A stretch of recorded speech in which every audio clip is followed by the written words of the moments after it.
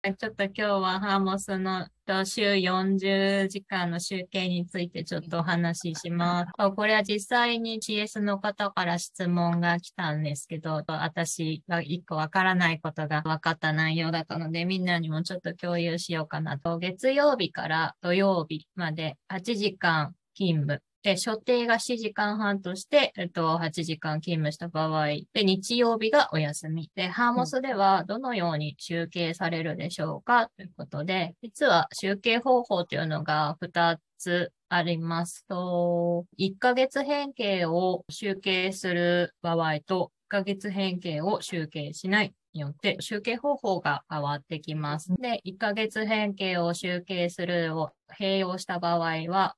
週40時間の集計ではなく、週の所定労働時間を超えた部分が残業として集計される。でもう一つ、変形を集計しないにした場合は、週の40時間、法定内労働時間っていうのが所定内労働時間と法定内時間外労働を足した分が40時間超えたら法定時間外として週4と計算されるように集計のロジックになってるんですけども、実際ここ週40時間超は集計するで、1ヶ月平形の集計が集計しないになってるので、集計しないので、えっと、40時間を超えた分が集計されるようになります。月曜から土曜日まで所定が7時間半のシフト、7時間半の勤務区分を使っています。7時間半で8時間労働してるので、30分が法定内時間外労働になってるので、この1日が8時間で計算されて、1、2、3、4、5、月曜日から金曜日まで足すと40時間に達するので、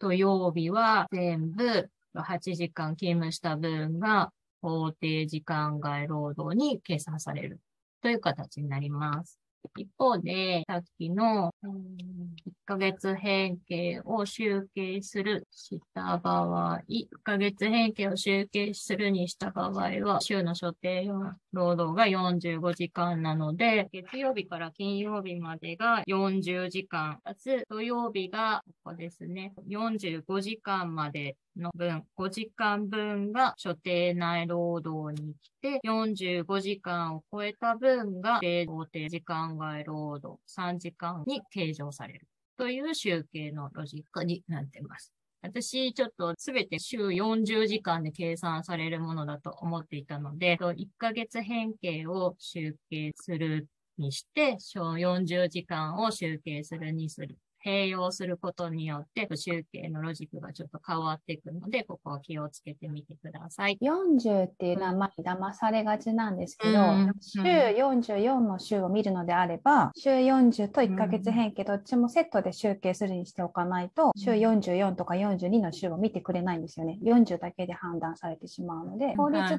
りに行く場合には、あのさっき前さん言ったように、週40、1ヶ月延期どっちもオンにしておかないといけないんですよ。で、そのどちらかが外れると、法律ではない集計方法になってしまうので。そうですね。最近、週40取らないとか、あんまりなんか、あの、法律通りには行ってないところが多いっていうのは印象なんですけど、法律通りにするとなれば、ここをちょっと気をつけていただかないとっていう感じなんですね。やっぱあの、1日の所定が8時間のところだとそんな気にしなくてよくって、7時間とかの短時間の所定のところで、かつ土曜出勤がある事業所の時とかに、ここがちょっと気にしなきゃいけないので、通常土日祝で8時間みたいなとこはもう火で出ちゃうから、あんまここが問題になることはないはずですね。はい。何か。何か？分かりやすかったです。まあ、あの、週って結構難しいですよね。そのなんか納得するというか腹落ちするまでの考え方が、土曜日だから1.25みたいな風に思っちゃうんですけど、ただ単に週の残業っていうだけで、1日8時間超えたら割増だよねっていうの分かってるんですけど、週40超えたら割増だよね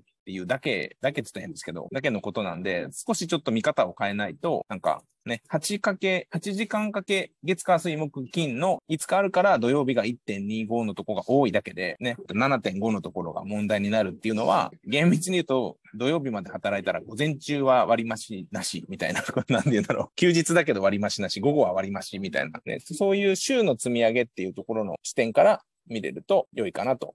ありがとうございます。ありがとうございます。